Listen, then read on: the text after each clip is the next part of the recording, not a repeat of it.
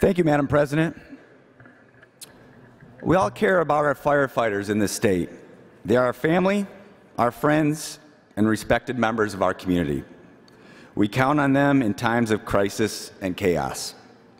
They put their lives on the line every day to help keep us safe. We also care very deeply about our firefighters' health and well-being. And we are committed to funding the Firefighters Cancer Presumption Fund. Work continues on this funding through the budget process, and this issue is a personal priority of mine, as well as most members of this body. Working with my colleague from the 23rd District, who he and I have talked many times about this issue, we will have a Senate Appropriations Committee next week, and we'll be adding $1 million to the fund in the current year. I will also be pursuing additional funding through the budget process for the 2017 fiscal year. We will act quickly, but we will also be thorough to make sure we get the job done right.